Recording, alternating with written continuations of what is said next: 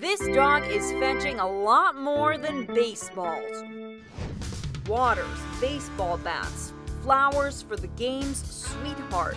You name it, Jake the Diamond Dog is becoming a staple at America's favorite pastime. He even plays frisbee with the crowd at mid-game and takes the ball for the opening pitch to the mound, standing by the pitcher during the national anthem. The dog's on duty 30 games a year, mostly for minor league matches. He's the fourth canine crowd pleaser Jeff Marshall has trained since the 1990s. Jake's so popular, he's got his own meet and greet after each game. His owner says Jake loves the fans as much as they love him. You can see his ears kind of lay back, open up, and, and you know, you can tell. Always lending a helping paw when it's needed.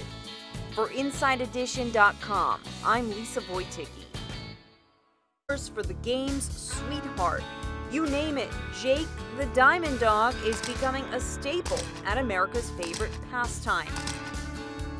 Sir Jeff Marshall has trained since the 1990s.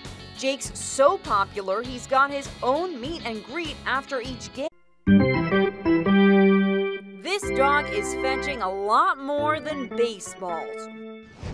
Waters, baseball bats, flower national anthem. The dog's on duty 30 games a year, mostly for minor league matches. He's the fourth canine crowd pleaser. He even plays frisbee with the crowd at mid-game and takes the ball for the opening pitch to the mound, standing by the pitcher during the